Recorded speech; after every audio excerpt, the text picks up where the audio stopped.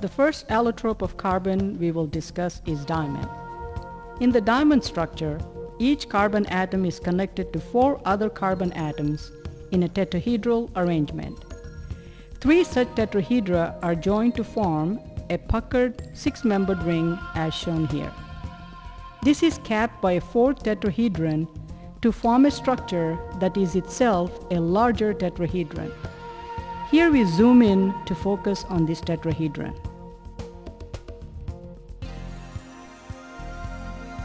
Repetition of this building block gives a larger structure that retains this tetrahedral shape as shown here.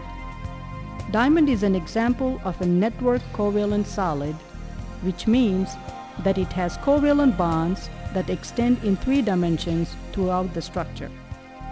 Instead of a collection of small molecules, a diamond is essentially one large molecule. As a result, diamond is a good conductor of heat and is one of the hardest substances known.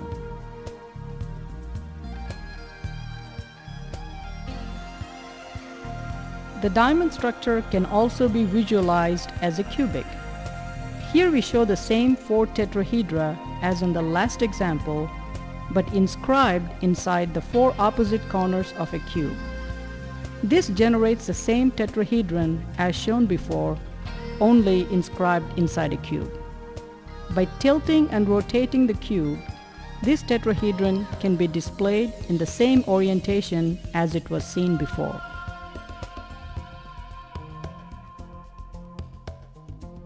Repetition of this cube also generates the diamond structure, but from the cubic perspective. Here we generate a larger scale model of the diamond structure by stacking this unit cell into an array that is 3 cells wide, 3 cells deep, and 3 cells high.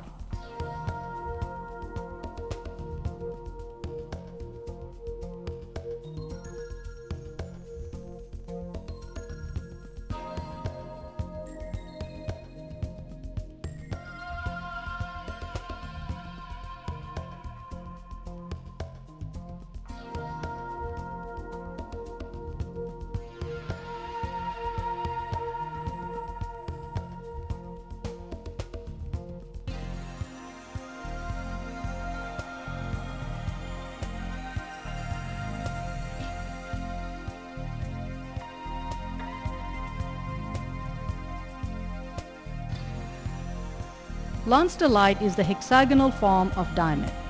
Like diamond, the carbon atoms in Lonsdaleite are each connected to four others in a tetrahedral geometry. Also like diamond, three such tetrahedra are joined to form a puckered six-membered ring.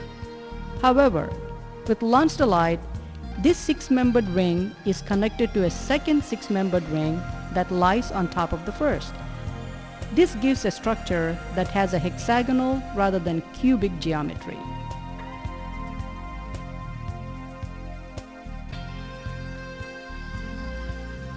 Repetition of this basic building block generates a larger scale model of the Lonsdaleite structure. Here we combine these hexagonal building blocks into a larger scale model. Note that the overall structure retains this hexagonal or six-sided shape.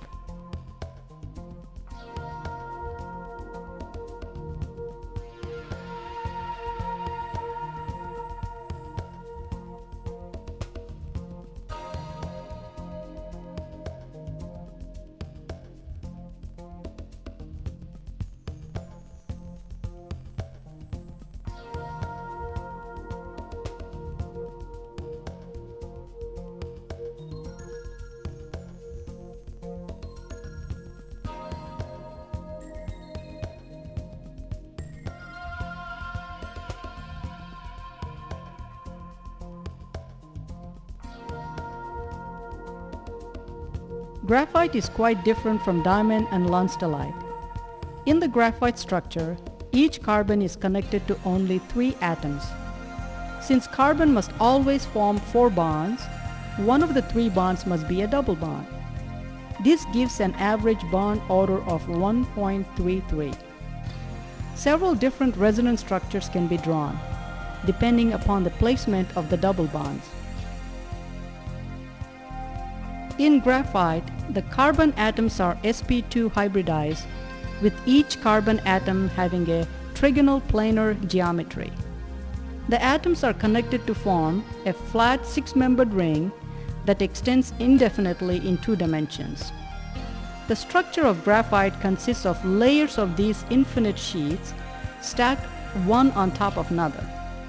The layers do not lie immediately on top of one another, but instead are offset as shown here. Let's take another look at the way these layers are stacked from the side. As you should be able to see, alternating layers are equivalent. The gray cylinders connecting like layers are for illustration only. There is no actual bonding between the layers. Graphite is therefore said to be a two-dimensional network covalent solid as the chemical bonding only occurs in two dimensions.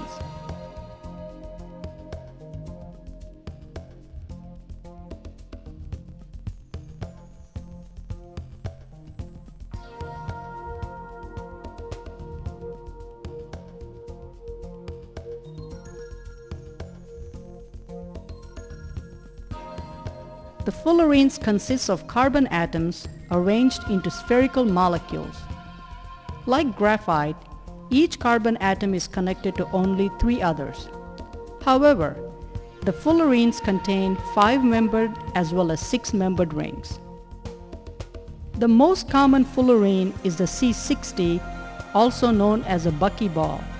This molecule contains 12 five-membered rings and 20 six-membered rings. These rings are arranged in a sphere resembling the soccer ball. Many other fullerenes are known. The next most common example is C70, which is a stretched C60 molecule. Other examples include C180 and C240, both of which are spherical. All of the higher fullerenes contain the same 12 five-membered rings but differing numbers of six-membered rings.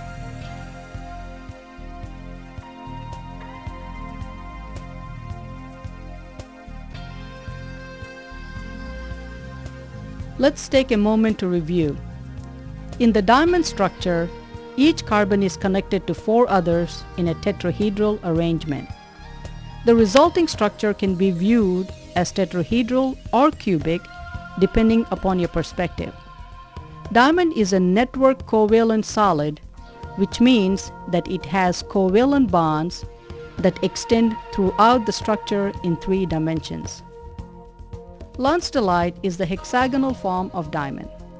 As in diamond, each carbon atom is connected to four others in a tetrahedral arrangement.